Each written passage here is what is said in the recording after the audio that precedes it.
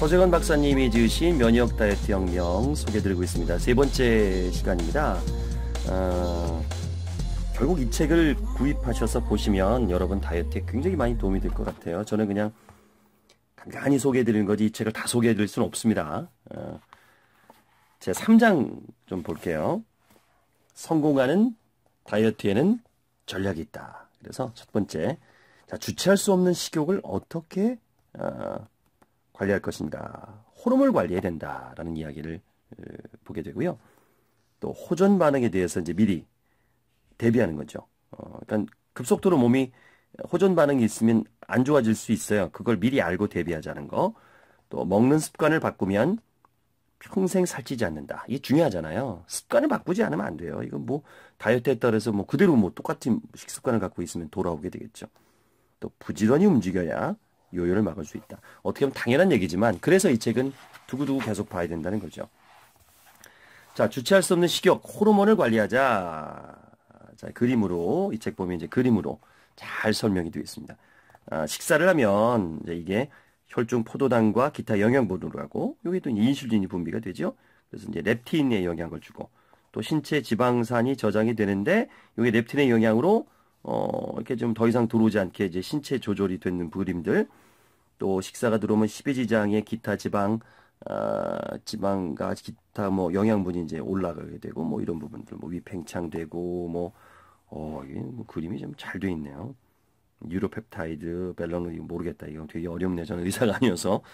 오렉산이라는 것도 있네요. 어, 요게 이제 식욕 증진의 경로고, 뭐 음식을 섭취하고, 어, 이렇게 그림이 아주, 어, 이제 의사들이 보는 그런 그림을 일반인에게 이제 표현했는데, 요건 이분 강의를 좀 들으면, 음, 알 수 있을 것 같아요. 어. 자, 체지방은 이제 그만, 렙틴, 렙틴. 이제 렙틴 좀 아시죠? 어, 굉장히 중요한 호르몬입니다. 렙틴. 체지방량을 일정하게 유지하게 하는 중요한 역할을 호르몬 하는 렙틴. 어, 지방세포가 렙틴 호르몬의 분비를 늘어나게 해서 뇌에서는 식욕을 억제하고 여분의 칼로리를 빨리 소모하도록 기초 대사량을 늘리는 역할을 합니다. 하지만 비만의 경우는 어떻다고요? 렙틴에 대한 저항성이 생긴 거예요. 렙틴 뭐 아이 괜찮아 너 뭐 까짓것 이러고 뭐 신경 안 쓰는 거예요. 이게 어떻게 해요? 렙틴 분비가 늘어나도 식욕이 줄어들지 않죠. 그러면 해결 방법은 뭐냐 이거예요. 렙틴 호르몬의 분비를 줄이고 그럼 당연히 그 자꾸 때리면 자꾸 맞으니까 이게 맷집이 생기는데 안 때리면 이제 맷집이 생겨. 그러니까 굳은 살이 자꾸 생기면 안 쓰면 굳은 살 없어지잖아요. 어떤 표현을 할까? 그러니까 소금을 아예 안 쓰고 음식을 한 일주일만 먹어보면요 다음에 조금만 소금을 쳐도 막 짜대요. 어, 그런 거죠. 그러니까 렙틴 분비를 줄이고 렙틴 저항성도 개선하려면 자, 탄수화물 섭취를 엄격히 제한하는 것만으로는 안 됩니다. 이 탄수화물 섭취를 줄이면 체지방량이 일시적으로 줄지만 뇌가 기초 대사량을 줄여서 다시 체지방을 늘리려 하는 거거든요. 그래서 탄수화물 섭취량을 제한하는 동시에 기초 대사량을 높여줘야만 체지방량도 줄이고 렙틴 저항성도 개선하는 두 가지 효과를 얻을 수 있는 겁니다.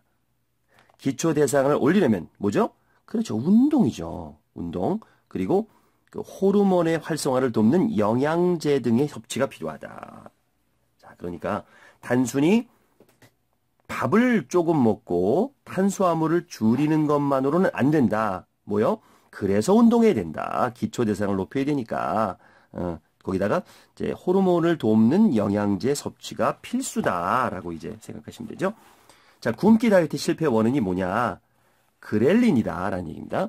자, 위와 소장에서 분비돼서 허기를 느끼게 하고 음식을 먹도록 유도하는 호르몬인데요. 그렐린이. 위는 30분마다 호르몬을 분비합니다. 뇌에 자극을 전달하죠. 배가 계속 배가 계속 비어 있으면 그렐린은 더 짧은 간격, 더 강한 강도로 뇌를 자극하기 때문에 이 식욕에 대한 유혹을 이기는 것이 힘들어져요. 어떻게 해결할 것이냐.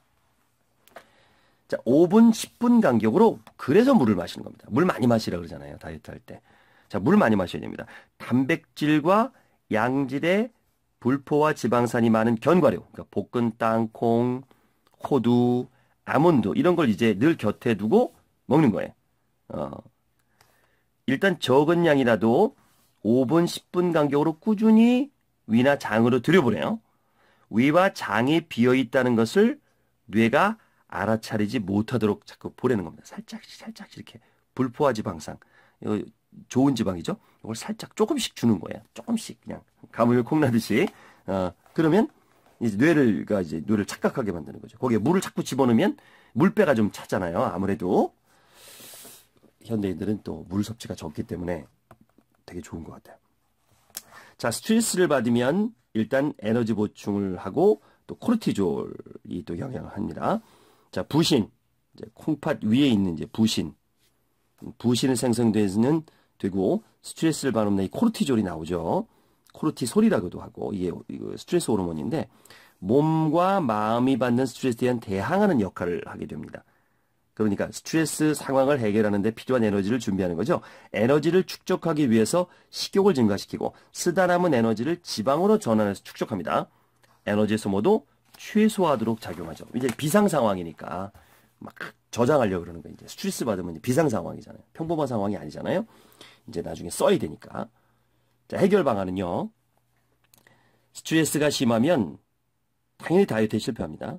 하지만 엄밀히 많이 말하면 스트레스 자체 문제가 아니라 스트레스에 대해서 내가 이제 어떤 그 자극에 대해서 내가 어떻게 대처하는가라는 게 태도의 문제입니다.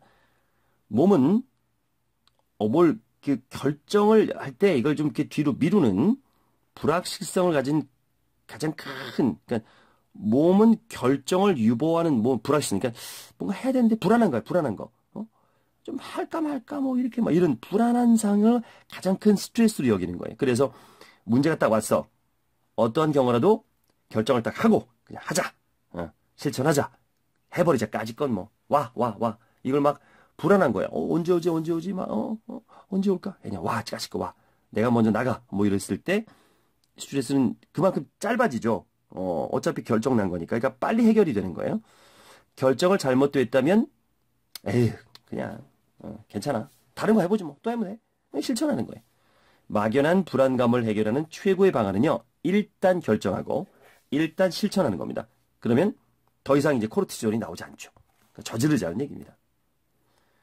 어, 혈당으로 포만감을 조절하는 음, 네, 인슐린의 부분이다. 어, 췌장에서 만들어지는 호르몬이죠. 흡수된 영양소를 저장하고 에너지 균형을 유지하는 역할을 해요. 음식을 먹은 후에 혈당이 오르면 어, 분비돼서 음, 포만감을 느끼도록 유도해서 섭취량을 조절합니다. 렙틴과 비슷하게 작용하지만 세포에서 인슐린 저항성이 생기면 식욕 통제 기능이 떨어집니다. 해결 방안은요. 그러니까 GI 인덱스라는데 이제 혈당이 빨리 올라가는 그런 거죠. 혈당 상승 수치인데 이게 좀 낮은 음식으로 식사, 식사 습관을 바꾸는 거죠. 어, 그러니까 탄수화물, 뭐 쌀밥, 빵, 떡, 밀가루 식품 이런 것들은 이제 높죠. 그러니까 단순당, 설탕, 액상과당 이런 섭취를 다이어트 기간만이라도 철저하게 제한하고 이제 포만감을 줄 수 있는 단백질과 채소 위주의 풍성한 식단으로 생활해야 됩니다. 자, 식욕을 이기는 행복감, 음, 도파민과 세로토닌. 아, 둘다 시상하부에서 이제 분비가 되는데요. 도파민 많이 들어보셨죠? 막, 그, 약간 그, 마약 같은 그런 그, 뭐랄까, 효능이 있대요. 약간, 쾌감을 느끼고, 성취감을 느끼고, 막, 기쁨이 분비, 막 이런 거죠. 세로토닌은 이제 긴장을 완화해서 편안함과 행복감을 느낄 때 분비됩니다. 심신이 안정되고 기분이 좋아지면요. 당연히 식욕도 어, 억제되죠. 반면에 긴장, 불안, 두려움, 우울증이 생기면 우리가 스트레스 받으면 막 짜증나면 막, 막 식욕이 땡기잖아요.